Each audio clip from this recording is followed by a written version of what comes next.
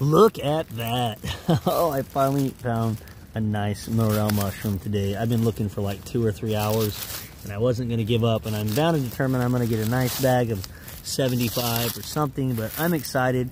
Finally found me a nice big morel. Hopefully there's 25 more in this area, but oh, there's some bark about it. hit me in the head. And that's probably a good sign. Maybe this tree is dying and yeah, maybe there's a lot more around this. Well, awesome. I found me a nice, beautiful morel, and that put some pep in my step. So I'm going to look around and hopefully find a bunch more. Get out in the woods and don't get discouraged. Keep looking, don't stop, and get you some.